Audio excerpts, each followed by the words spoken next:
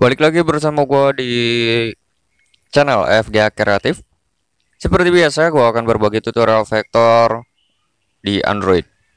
Untuk aplikasi yang digunakan, gunakan saja di Play Store ada tulisannya Infinite Design atau desain tak terbatas lah. Kalau bahasa Indonesianya. Nah, di sini gue mulai dari Outlines dari vektor mobil.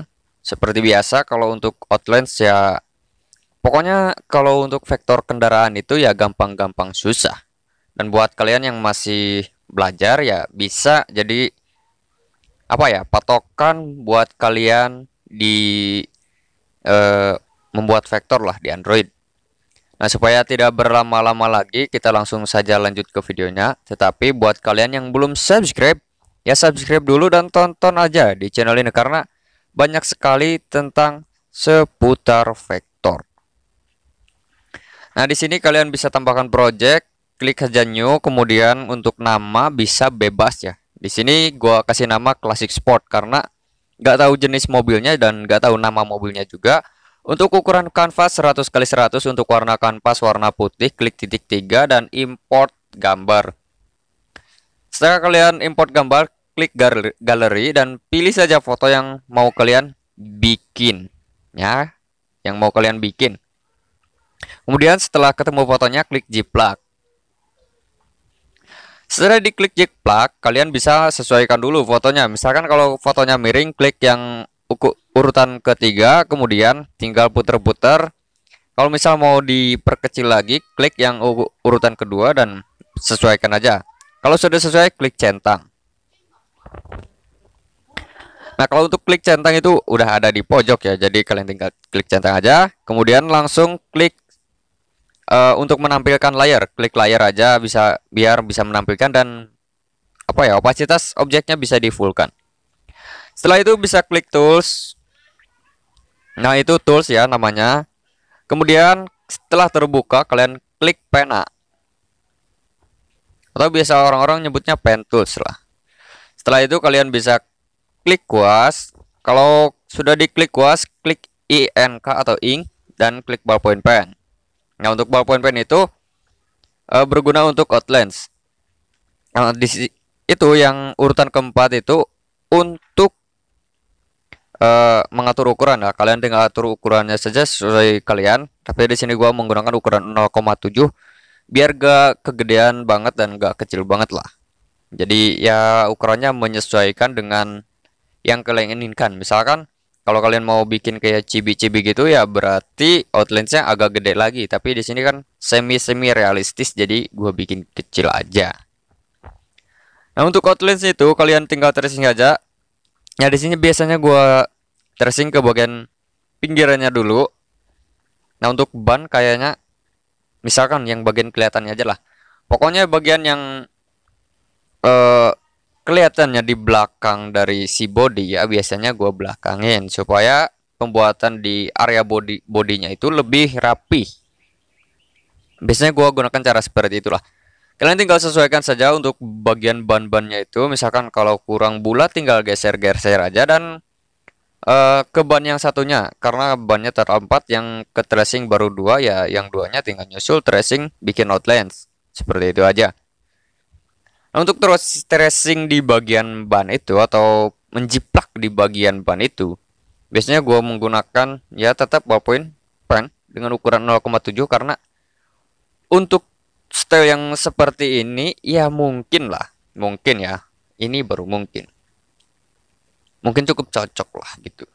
Karena nggak ada yang dibeda-bedain. Karena misalkan kalau berbeda outlines lain satu dengan yang lainnya itu akan apa ya sedikit ribet lah mungkin buat kalian. Jadi gua gunakan line art yang ukuran sama.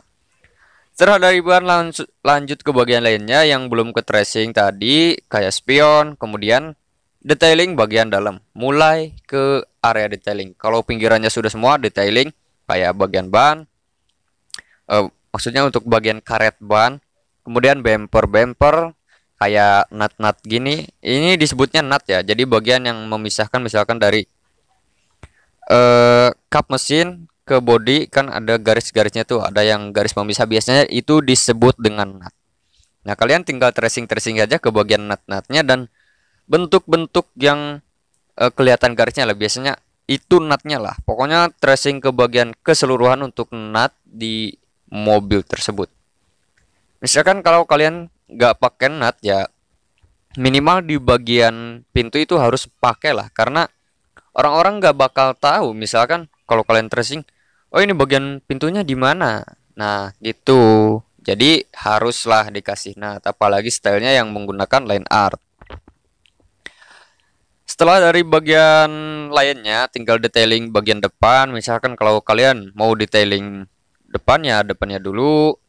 Kemudian eh, karena kalau nggak langsung di detailing ya misalkan kalian gambar terus acak-acakan gitu misalkan dari bagian ban ke bagian lain ke bagian lain biasanya ada yang kelewat aja. Nah lanjut ke bagian kaca. Untuk bagian kaca juga sama menggunakan cara di tracing. Untuk cara tracingannya ya kalian tinggal ikutin saja. Gak perlu gue jelasin ini harus kayak gini. Nggak perlu karena mobil itu kan sudah membentuk mobil. Jadi kalian nggak bakal kepusingan gitu oh ini gimana sih? Ya enggak lah. Kalau untuk vektor mobil kan tinggal ikutin aja dari bentuk-bentuk yang sudah disesuaikan atau sudah sesuai. Kemudian untuk detailing detailing lainnya itu bisa tinggal spion yang satunya yang uh, dari tampak tampak depan lah. Tampak depan gitu. Ya pokoknya dari tampak depan. Kemudian tracing juga di bagian kaca yang di pinggir itu. Setelah di tracing, nah kalian tinggal tracing-tracing pinggirannya dulu, baru detailing bagian dalam. Jadi biasanya kalau gua gambar ya seperti itu. Tracing pinggiran, detailing bagian dalam. Tracing pinggiran, detailing bagian dalam. Karena kalau misalkan dibarengin, misalkan mau detailing bagian dalam dulu kan, ya susah lah. Nah hasilnya seperti itu. Kemudian next ini mungkin apa ya? Buat membuka pintu lah, buat membuka pintu mobil mungkin. Kemudian detailing ke pintu mobilnya. Nah, di sini yang gue tadi sebut-sebut harus kalian kasih line art ya karena supaya orang-orang tahu ini pintu mobilnya. Gue juga sempat kelupaan tapi kalau untuk line art bisa nyusul. Tapi alangkah baiknya kalau kalian langsung aja di tracingkan supaya kalian tidak lupa. Seperti itu. Nah, kalian setelah di tracing-tracing simpel tinggal centang-centang kalau misalkan sudah sesuai, kemudian detailing bagian bumper juga. Nah, setelah di bagian bumper lanjut cek-cek aja gitu bagian mana lagi yang belum kena gitu. Jadi kalian harus perhatiin lah, harus terfokus dan juga jangan lupa untuk bagian wingsnya. Itu untuk bagian wings itu nggak semua mobil ada. Rata-rata mobil sport atau mobil-mobil yang apa ya? Yang modifikasi modifikasi gitulah. Kemudian kalau untuk di bagian uh, wings kalau sudah lanjut tinggal misalkan yang bentuk-bentuk bulat. Karena bentuk-bentuk bulat itu tidak menggunakan pen lagi. Yaitu yang digunakan tools lingkaran atau elips nah seperti itu sama di bagian velg juga menggunakan tools ellipse. Karena apa ya? Ukurannya udah simetris lingkaran. Kalau kita bikin manual dengan pena itu nggak mungkin memben membentuk bulatan kayak gitulah. Nah juga untuk bagian lampu dan untuk detailing kecil misalkan ini uh, lampu ya. Untuk bagian lampu itu termasuk detailing kecil karena ini kan lampunya kecil. Jadi gua sebut aja detailing kecil.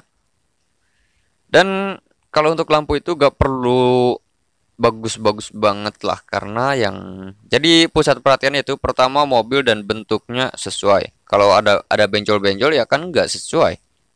Atau nggak perfect lah untuk line art. Jadi diusahakan untuk line art itu rapi bagus dan bagus lah pokoknya gitulah nah untuk di bagian lampu itu kalian bisa menyesuaikan dengan bol e, lampu yang ada di mobil tersebut karena tidak semua mobil lampunya sama meskipun misal ada mobil Avanza dan Avanza lampunya belum tentu sama karena ada modifikasi-modifikasi gitu. Jadi ya kalian bisa menyesuaikan saja dengan foto yang kalian dapat atau dengan gambar yang kalian dapat gitu. Nah, setelah semuanya selesai, kalian bisa langsung gabungkan saja. Caranya klik select tools. Setelah diklik select tools, ya seperti biasa, pilih semua. Setelah dipilih semua, kalian cari yang namanya gabungkan. Pokoknya kalian cari aja. Nah, itu gabungkan. Setelah digabungkan, pilih yang urutan kedua. Dari gabungkan tadi.